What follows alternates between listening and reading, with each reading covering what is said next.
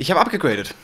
Das ist wahrscheinlich das letzte Mal, dass du das Video genau in diesem Stil siehst. Denn meine 5D geht in Rente und wird ersetzt durch eine R6. Und es ist jetzt kein Unboxing-Video, kein Review-Video oder sonst irgendwas. Ihr kennt mich ja, das ist nicht mein Style. Die, die, die Box ist eigentlich leer. Das war jetzt nur zur Deko, um mal äh, zu demonstrieren, was ich eigentlich zeigen wollte. Denn, ähm, ja, was hat's für Vorteile, dass ich jetzt eine andere Kamera genommen habe? Warum zur Hölle ändere ich mein Equipment, mein System, obwohl ich eigentlich mehr als genug Videos dazu aufgenommen habe, dass man's ja eigentlich nicht braucht? Naja, der erste Grund ist der hier.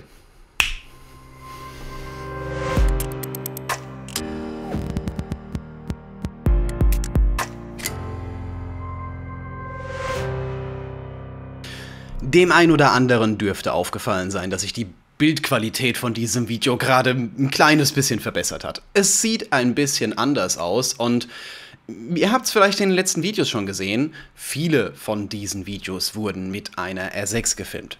Und ich möchte einen gleichbleibenden Stil drin haben, das ist schon mal die eine Sache. Und zweitens, momentan ist es bei mir einfach so, dass ich mehr Videojobs als Fotojobs habe. Ich möchte diese Kamera tatsächlich nicht zum Fotografieren benutzen, sondern überwiegend zum Filmen. Gut, Matthias, warum holst du dir dann keine Filmkamera wie eine C200? Ich habe ja auch schon Videos mit einer C200 gemacht. Auch hier auf dem YouTube-Kanal findest du ein paar mit dieser Kamera und die sieht echt geil aus. Aber es ist nicht das Gleiche. Erstens mal, es wirkt anders. Zweitens mal, selbstverständlich wird sie auch zum Fotografieren benutzt. Es wäre ja dämlich, wenn ich mir jetzt eine reine Filmkamera holen würde, um mir dann, ja, weil ich auch irgendwann mal wieder eine Fotokamera brauche, nochmal eine Fotokamera zu holen. Ich finde, die R6 ist eine schöne Hybrid-Variante, eine schöne Kombination aus einer sehr guten Fotokamera und natürlich auch einer sehr guten Kamera für Videos. Das war eigentlich einer der Hauptgründe. Es geht ums Filmen.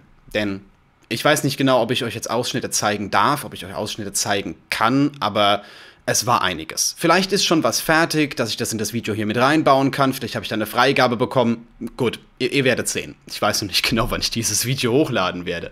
Das ist schon mal Punkt Nummer eins. Punkt Nummer zwei ist, Kameras haben natürlich eine gewisse Haltwertszeit. Und Natürlich ist es so, dass die darüber hinausgehen können. Das heißt, nur weil jetzt eine 5D für auf 150.000 Auslösungen ausgelegt ist und die beide hier mehr haben als 150, weit mehr als 150. Ich kenne die genaue Zahl nicht. Ich glaube, ich habe vor einem halben Jahr habe ich mal nachgeguckt und da waren sie beide schon drüber. Seither habe ich ja auch noch fotografiert. Ähm, nur weil das so ist, heißt es ja nicht, dass die morgen kaputt gehen.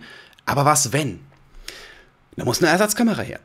Und das ist jetzt für mich kein wirklicher Grund gewesen, eine neue Kamera zu kaufen. Und es sollte auch für dich kein wirklicher Grund sein, eine neue Kamera zu kaufen, weil du mit der alten schon zu viel fotografiert hast oder sowas in der Richtung. Aber Kameras gehen irgendwann mal kaputt und gerade mal, gerade wenn man darauf angewiesen ist, gerade wenn man jetzt Hochzeiten fotografiert und hergeht und halt, ähm, ja, Jobs hat, wo man halt nicht mal sagen kann, na, war jetzt zwar doof, dass das nicht geklappt hat, aber hey, komm, wir machen das Shooting morgen oder nächste Woche, fotografieren wir einfach nochmal, ist ja gar kein Thema, sondern es muss laufen.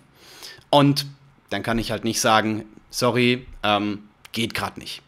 Und ja, deswegen bin ich meistens hergegangen und habe mir entweder noch eine Ersatzkamera dazugeliehen oder, wenn ich sie gerade wegen einem Video gebraucht habe, auch noch eine Kamera geliehen, um das Video zu filmen. Und das war ein Riesenstress zum Teil. Wenn es kurzfristige Aufträge waren, der Kunde gesagt hat so, hey, pass mal auf, ne, ich brauche ein Video, 4K, so und so sieht's aus, wir, filmen nächste Woche. Wo ich dann sage so, mm, ja, okay, muss ich mal schauen, ob da eine Kamera bei meinem Leihdienstleister frei ist. Und es war oft machbar, aber es war ein Riesenstress.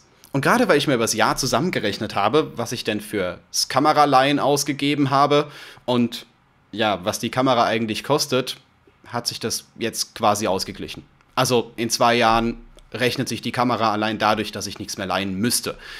Waren halt jetzt mehr Videoaufträge. Das kann man halt nicht immer so 100% abschätzen, aber es ist eine Investition, die sich definitiv ausgezahlt hat und von der ihr auch ein klein bisschen mehr bekommen werdet. Weil, schaut euch an, ich finde es richtig genial. Sieht echt cool aus. Sieht echt cool aus. Und deswegen, ähm, ist es auch noch ein Schritt nach vorne.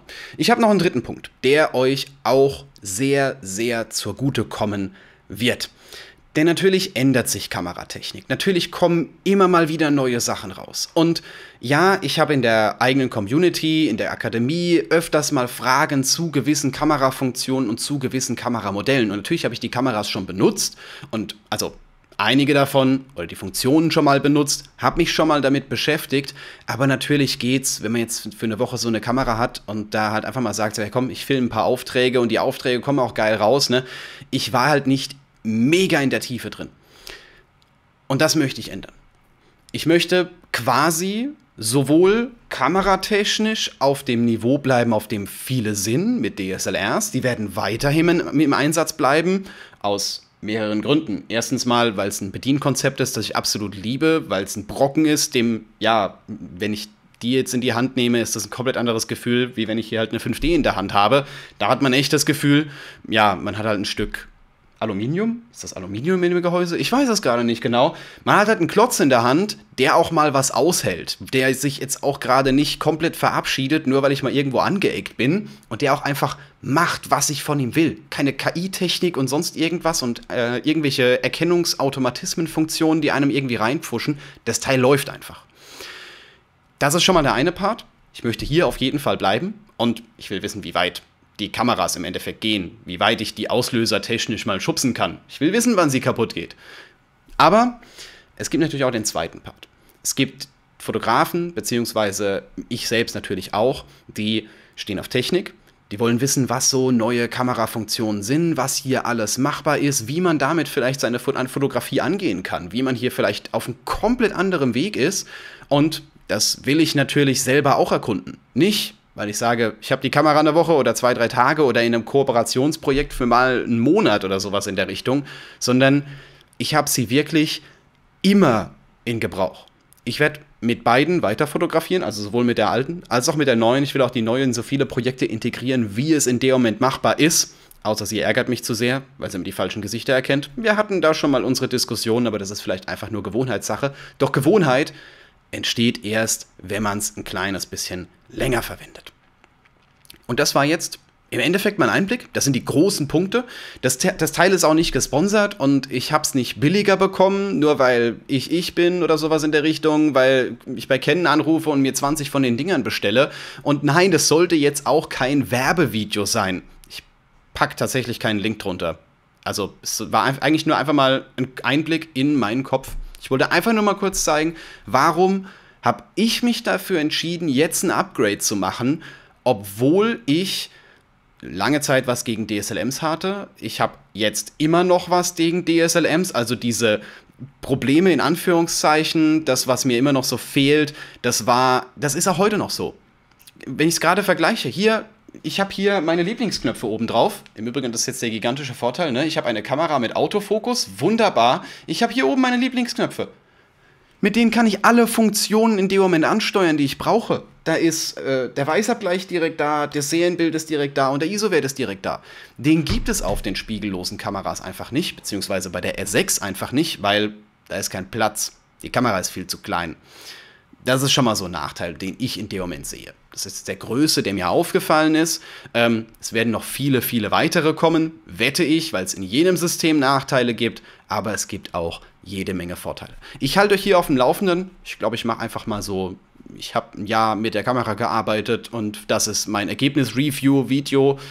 Ich sollte noch am Titel arbeiten, aber ähm, das werde ich euch auf jeden Fall noch zeigen. Das war es im Endeffekt jetzt. Einfach mal so ein kurzer Einblick in meinen Kopf, ein kurzer Einblick darin, warum ich das gemacht habe. Und es wird auf jeden Fall weitergehen. Und die Qualität hier, das Optische und auch das, was dann später draußen, drinnen, in allen möglichen Videos machbar ist, wird sich ein kleines bisschen verändern.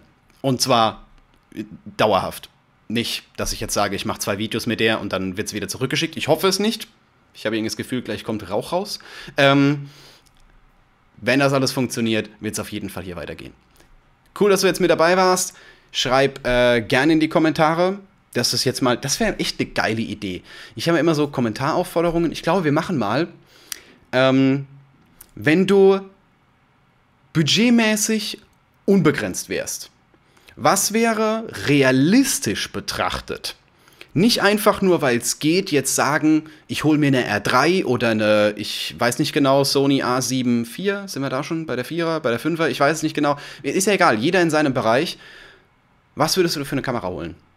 Wenn Geld keine Rolle spielt. Bei mir ist es definitiv so, ich glaube, ich würde nicht höher gehen. Ich habe mit der F5 schon fotografiert. Und ja, die R3 ist ganz interessant, aber ich glaube, ich würde nicht höher gehen. Egal, was für Budget in dem Moment hinten dran steckt. Okay, das war's für heute. Ich bin, bin gespannt, was ihr da drunter schreibt und wir sehen uns im nächsten Video wieder.